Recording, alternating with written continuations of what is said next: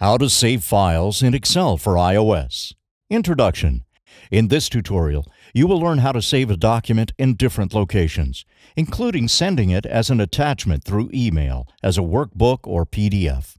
You will also learn to change the location of an already stored file from Excel for iOS. Step number one, send it as an email attachment. In Excel for iOS, it's possible to send a document as an email attachment even when it's active and being modified. To achieve this, click as indicated. Then find and tap the option Send Attachment. Once this is done, you will be given the option of attaching the current document as PDF or workbook.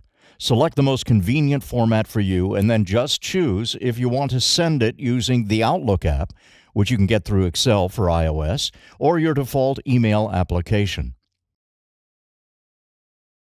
Step number two, saving files locally or in the cloud. Once you've finished modifying a document and are ready to save it, click as indicated. Step number three, convert the file if necessary.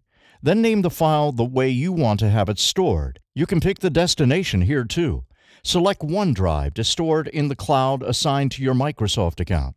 Tap your device to store the document locally in your own storage, or click Add a Place to access more options, including linking Dropbox with Excel for iOS.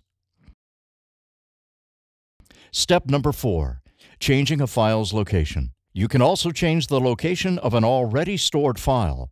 One way to do this is to be sure to be in the Recent option at the main menu, and then click as indicated. Here the options include sharing it, moving it to a cloud, or deleting it.